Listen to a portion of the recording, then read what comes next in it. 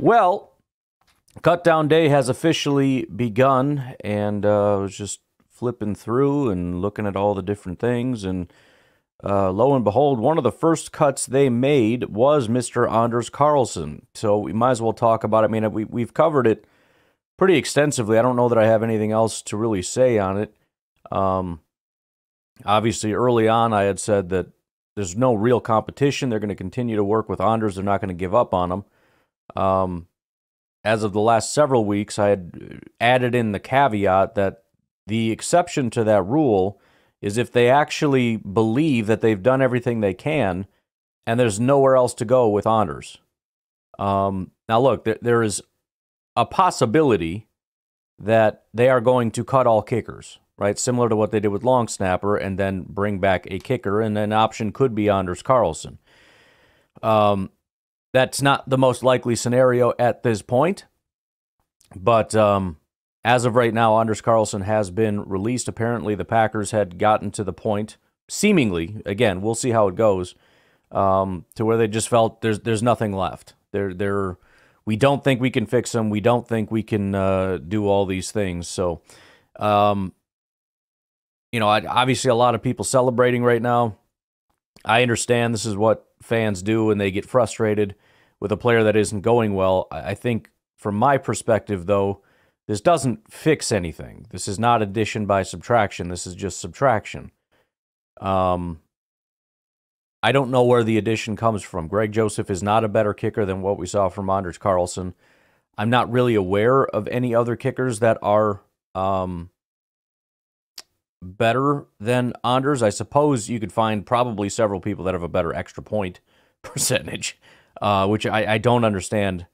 It, it doesn't make rational sense to me to be like, yeah, but he struggles with extra points. Like, no, that had to have just been like a weird, fluky. It doesn't make sense. Why? I don't know. I don't know. It doesn't matter. He's gone, so it doesn't matter. I don't need to try to figure it out. Um, so we'll see. I mean, there's a lot of speculation at this point. It's relatively early. Um, we'll see how it goes. Obviously, not a fan favorite, Anders Carlson.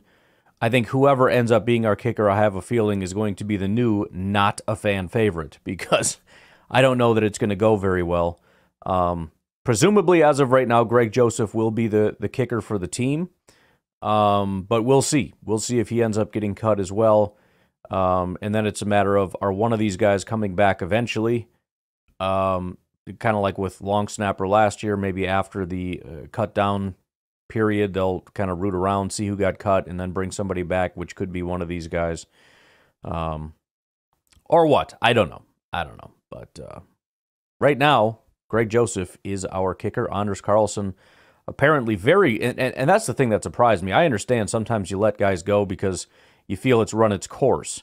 One of the other guys we're going to talk about, Samori Toure, I think is the same thing right? We kind of know what he is. We've put as much into this guy as we can. We see that there's really no more growth here. He's kind of peaked, and that peak is well below like our top seven guys or something. It's it's you know, now I shouldn't say well below, but he's probably you know like eight ish, and I don't see him really climbing beyond that. Plus, we're going to continue to add throughout the years.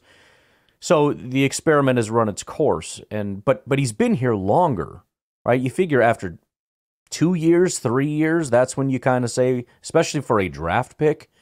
Um, so it it must have been a, a high level of frustration with uh, Anders Carlson for it to get to this point. So Anders Carlson released was one of the first moves of the day.